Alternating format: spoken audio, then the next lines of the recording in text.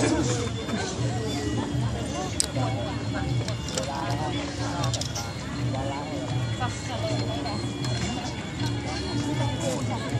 ันนี้ลอง อันนี้เล่นก่อนเพราะว่าเดี๋ยวพอเริ่มเล่นจริงจะไม่ได้เล่นยากครับ โดยการที่เอาแก้ววางไว้เอาแผ่นกระจกวางไว้อีกทีหนึ่ง แล้วก็มีแป้น ไม่มีการใช้แม่เหล็กนะครับ เราใช้กาวตาช้าง แล้วก็เอาไข่วางไว้ด้านนี้ อันนี้เราไม่กล้าเล่นไข่จริงนะฮะเพราะส่วนสำคัญที่สุดก็คือ เอาไม้เนี่ยเคาะไปแผ่นกระจกจะลงไปนู่น ไข่จะตกลงมาข้างล่าง ถ้าแผ่นกระจก อ่อมาตรงนี้ไข่และแก้วก็จะไปอีกทางหนึ่งเลยนะครับ เพราะฉะนั้นเอาเลยนะครับ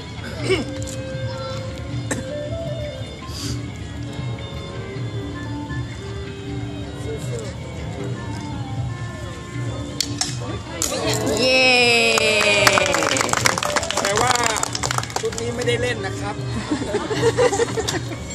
กลัวมันจะเหงาครับเลย เลยเอามาวอร์มอัพไว้ไปกระจกไปไหนแล้วครับคนอยู่ด้านหน้านั่งลงนิดหนึ่งนะครับ เพราะว่าคนที่อยู่ตรงสนามหลวงมองไม่เห็น เนื่องจากว่าที่ทางนั้นเขาบอกว่าเวลาดูการแสดง หลายท่านอาจจะมีความแบบ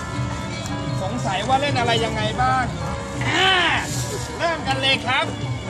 พื่อไม่เป็นการเสียเวลาท่านผู้ชมครับสองทุ่มแล้วก็จะเริ่มการแสดงหน้าบัตรนี้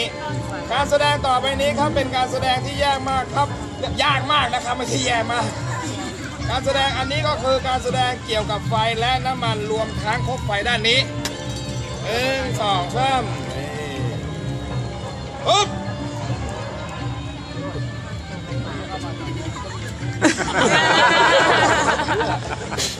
เพื่อ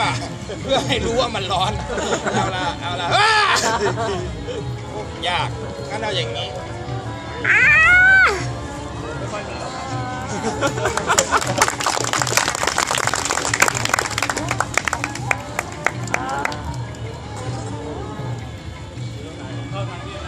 พอแล้ว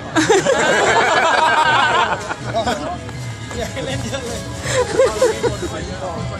ควรเล่นนิดเดียว ไปโทรตามเพื่อนมาเลยนะครับรอบสุดท้ายโทรตามไม่ทันเดี๋ยวดูไม่ทันนะครับ เพราะว่าเวลาที่แสดงเนี่ยจะแสดงหลายอย่างเป็นทักษะเกี่ยวกับ การแสดงมายากลรวมทั้งท็อกกิ้งนะครับ ด้วยการอย่างเช่นการเอากระดาษมาทำอย่างนี้นี่อันนี้เรียกว่าแบบง่ายๆ แต่ต่อไปนี้ท่านผู้ชมครับ นี่คือส่วนที่ยากเพราะว่ากระดาษจับพับขยำแล้วก็ทำอย่างนี้หนึ่งสองสาม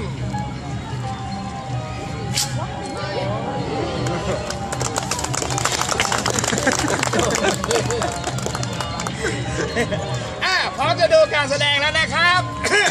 ผมชื่ออาริโนครับ เป็นนักแสดงที่เดินทางมาจากประเทศไทยครับ ผมอาจจะพูดภาษาไทยไม่ชัดต้องขออภัยนะครับ เพราะว่าเพราะว่าเป็นคนไทยนะฮะ อันนี้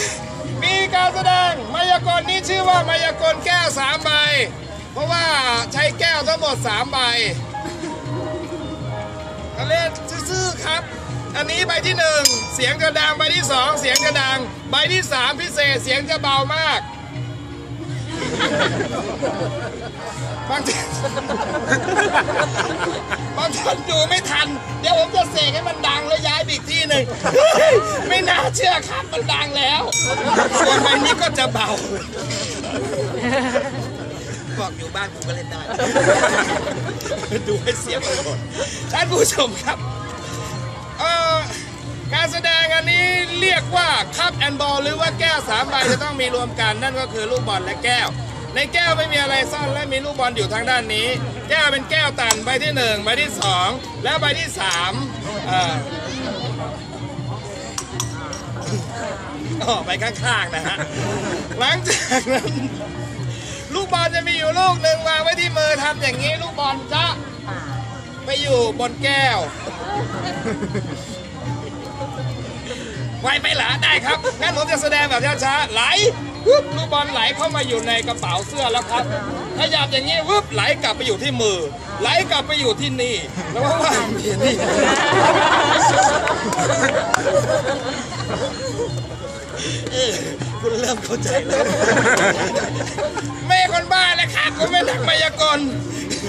การแสดงต่อไปนี้เรียกว่าการแสดงแก้วอัศจรรย์กับลูกบอลวิธีก็คือเอาลูกบอลวางไว้จับพับสลับ ไม้เคาะแล้วก็ชี้ไปที่แก้ว รวมทั้งลูกบอลที่อยู่ทางด้านนี้ บางคนมีความสงสัยว่าลูกบอล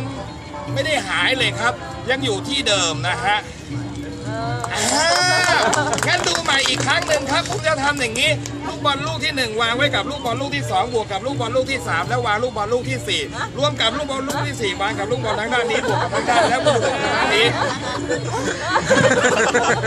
เก็บไปลูกหนึ่งก็ได้เพื่อ ให้คุณไม่เคืองใจว่าโอ้ยนั่นเดี๋ยวมาช้าๆหน่อยครับผมไปนี้ผมจะได้ได้ช้าลงวางลูกบอลอยู่ทางด้านนี้จับพับสลับกลับมาอยู่ พอข้ออย่างนี้เชื่อไหมอ่าใช่แล้ว เพราะว่าลูกบอลอยู่ทางด้านนี้อีกลูกหนึ่งวางพับอย่างนี้ ลูกบอลเนี่ยจะอยู่ทางด้านนี้ แล้วทำอย่างนี้ดูนะครับนี่มีลูกนี้แถมด้วยลูกนี้แล้วก็มีลูกนี้บวกลูกนี้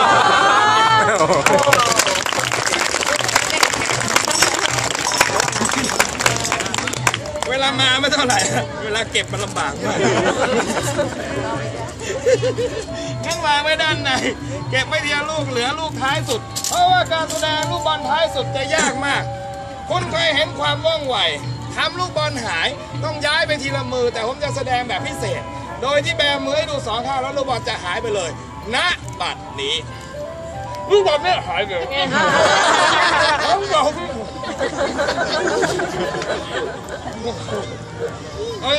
ไม่ใช่อะอยากจะบอกไม่มีน้ำลาย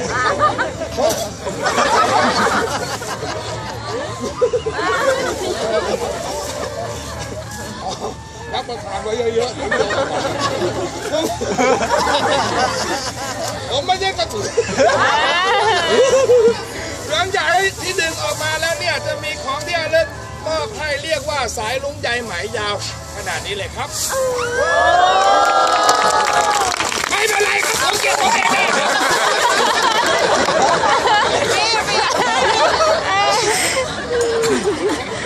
ไหนลูกใหญ่ไหมอยู่นี่ ไม่ เป็นไรอันนี้นให้เป็นที่ระลึกนะครับต่อไปนี้เป็นการแสดงที่ผมไปแสดงมาหลายประเทศครับนี่เรียกว่ากายกรรมเกี่ยวกับร่มนี่เรียกว่าการเลี้ยงบนนิ้ว ส่วนที่ยากคือใช้ขอบเลี้ยงบนหน้าผาก มีแค่รอบนิดเดียวเอาตะปูเจาะหน้าผากรูนะครับแล้วคุณก็เอนี่เสียบเข้าไป แต่ถ้าไม่เจาะก็จะทำแบบ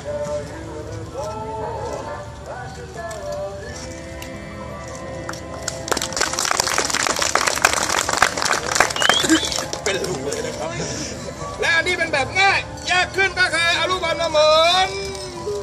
รอบๆแต่ถ้าด้านบน อันนี้เวลาไปแสดงที่ต่างประเทศนะหมุนข้างบนขึ้นไปปั๊บเนี่ยฝรั่งเขาจะยกนิ้วให้เป็นแถวเลย ส่วนแม่จะยกนิ้วกลางแล้วไม่ต้องยกนะครับเฉยๆยกกันตะพื้นตะพืออย่างนี้ผมตกใจบอลขึ้น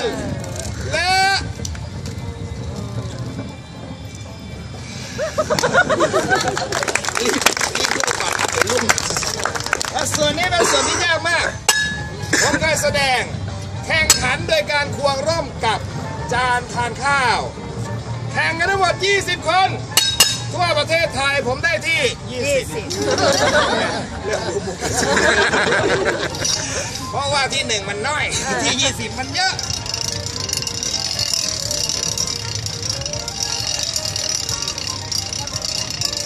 เวลาดูไม่ต้องดูกันอย่างนี้นะครับเดี๋ยวจะเวียนศีรษะ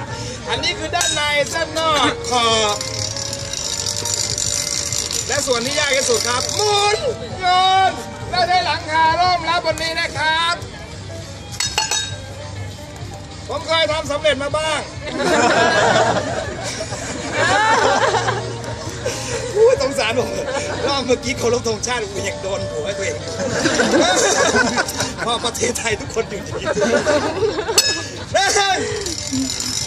สอง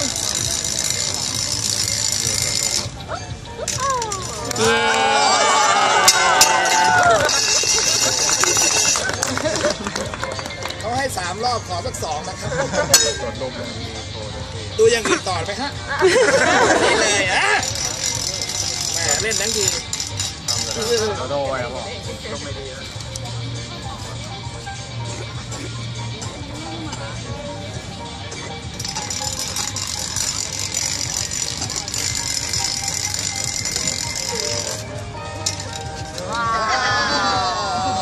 อ๋อขอโทษทีนะครับห่างหมดแล้วดีมีสเปรย์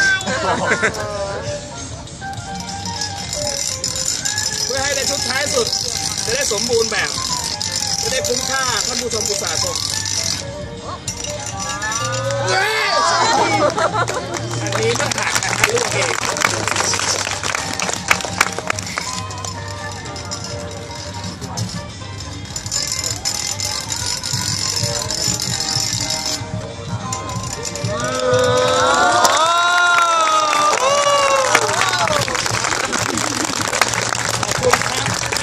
มือกันเยอะๆบอกชอบเปล่าพี่กลัวหล่น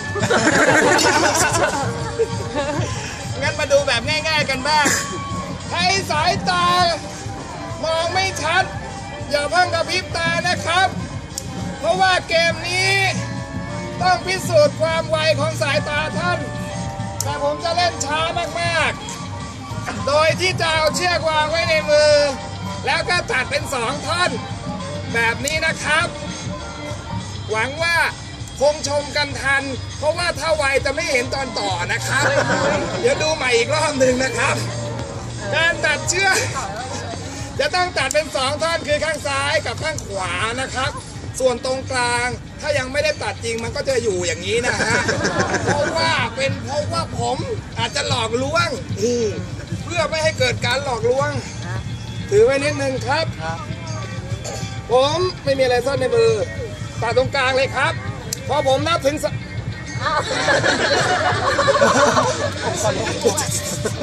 คือคือผมจะบอกว่า